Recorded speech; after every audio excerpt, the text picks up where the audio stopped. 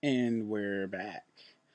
Thank you guys for joining me again in another one of my Adobe Illustrator tutorials. We are going to be discussing 3D in Adobe Illustrator today. So, a lot of people like to develop three-dimensional objects or things that look more realistic and a lot of the programs you'll see it used in are Photoshop, uh, maybe Corel, things like that. But you, if you're an illustrator and uh, or an illustrator user rather, let me not say illustrator because that can be any program.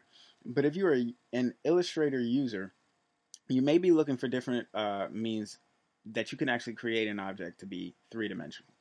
Now, in a previous class, and it was more so our drawing class, uh, the HD Remix tutorial. If you go through that, I'll show you different techniques in the shading section that talks about how you shade objects to make them appear to have dimension. Okay, and uh, one of the main ways in which you would do that is you would take an object. Right now, I'm going to take an ellipse or a circle, and I'm going to change it to cyan. I'm going to remove the stroke. Um, let's see. And once I've done that, I have a flat circle. Now, in order to create that depth or dimension, there are two things I can do. I can use a gradient or a gradient mesh or a series of uh, flat shapes that would then appear to give a dimension in some form of transition. So what I want to do at this point is I'm going to just create, uh, I'm going to copy the shape, paste in front, and I'm going to create a gradient. I'm going to make it radial because it's a circle and I want it to be a sphere in terms of the shape. So I make it radial. And right now that was set to the stroke, so I'm going to get rid of that and go back. Um, and then I'm going to change the blending mode just to multiply. Go back to the gradient, and I can hit the G button to flex and adjust the gradient live. Now, if you were with me on any of my other tutorials, especially the ones speaking specifically of gradients, then you'll know that you can manipulate this and you can move this and position it how you want, anywhere that you want on your actual shape.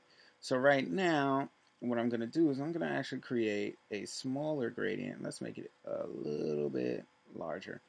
I'm going to come over here, and because I'm only using the multiply effect, I'm using uh, basically all of the blacks that are included in this piece. So I'm going to take the white and I'm going to bring the opacity all the way down. Alright? And then I'm going to grab this, go to the transparency, and I'm going to drop that down some more. So that way I give it some form of dimension with a light source that's coming from the upper right portion of the screen. Now this gives you a darker sphere. And essentially, let me uh, make it a little more dark. Uh, what I'm going to do is I'm going to show you that you can adjust this and you can pull different parts closer and it'll start to adjust according to where those parts are actually located. And you can pull the sliders if you want something of more intensity and you can have a more realistic look. Alright?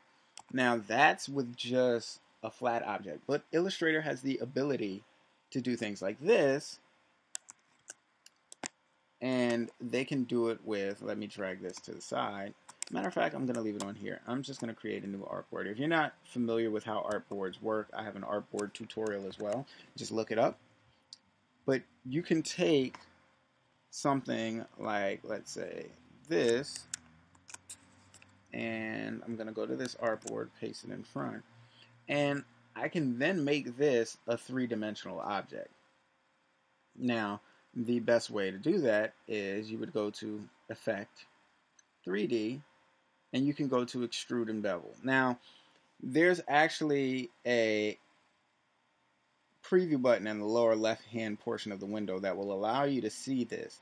Now, because of how I actually have this as a shape, when it extrudes, it's going to extrude as a flat shape. But I'm not going to show you how to make the exact sphere right now. What I'm showing you right now is how you can achieve similar three-dimensional status through lighting and shading.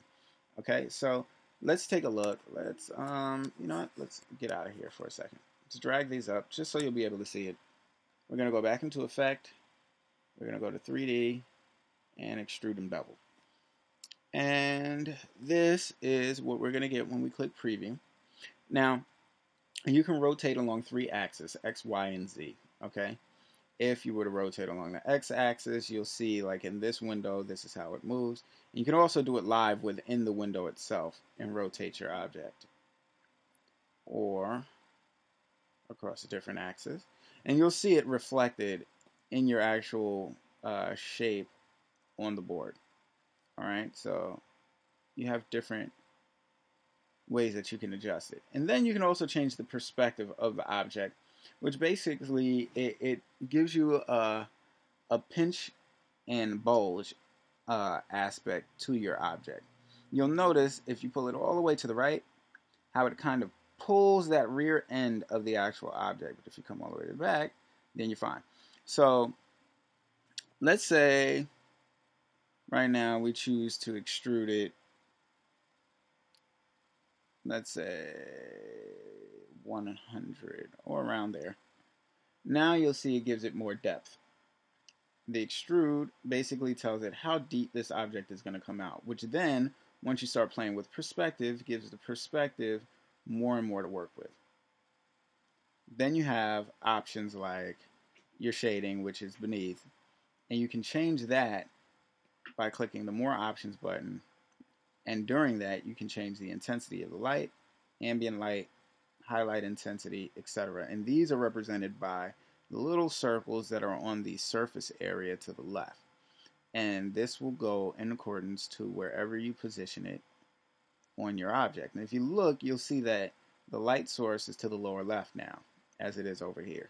And you can change that to be in front of the object or you can move it behind the object. You can also add additional light sources around the object itself in order to change how it's actually shaded and it will reflect accordingly.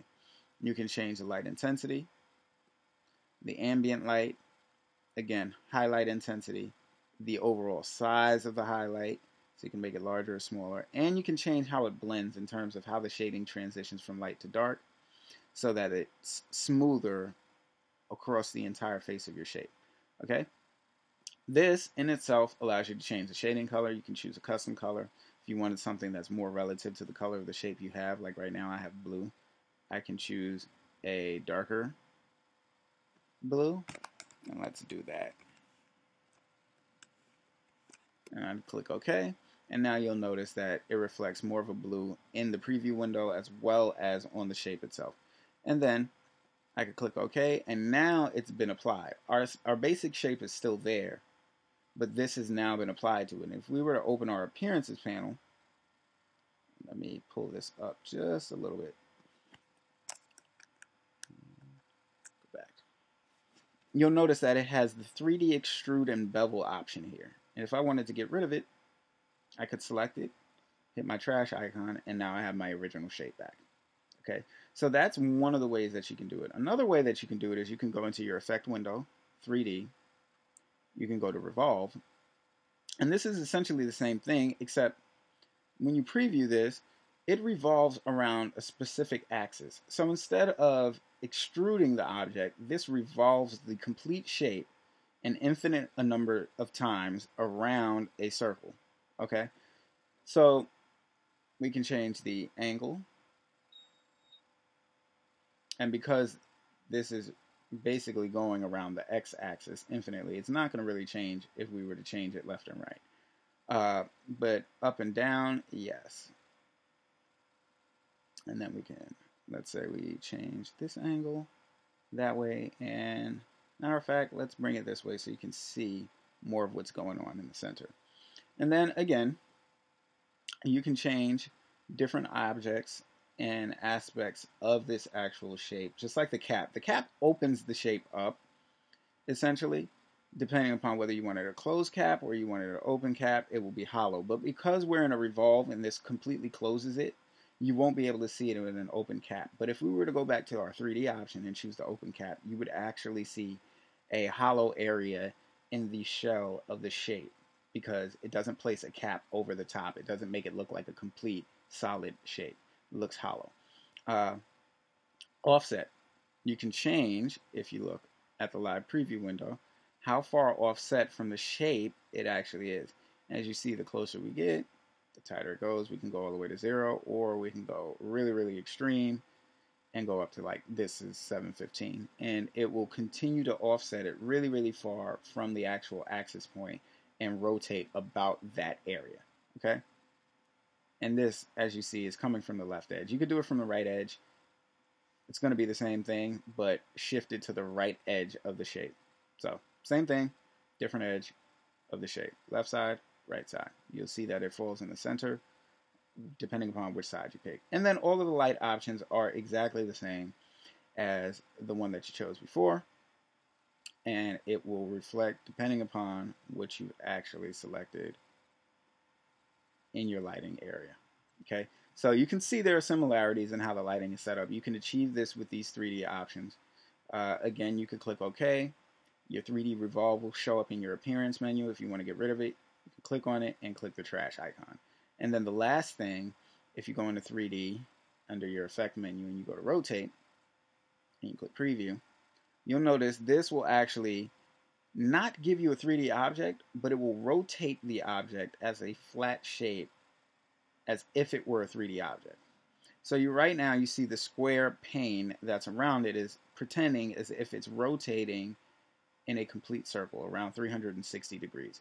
And that's going to be top, bottom, left, right, X, Y, and Z axis uh, that you can actually rotate it on. So if I were to come here, it would be completely flat. But if I were to rotate downward,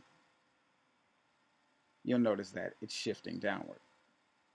And then I could rotate to the left or right. And now it's as if it's facing in this direction, but flat because of how I'm looking at it.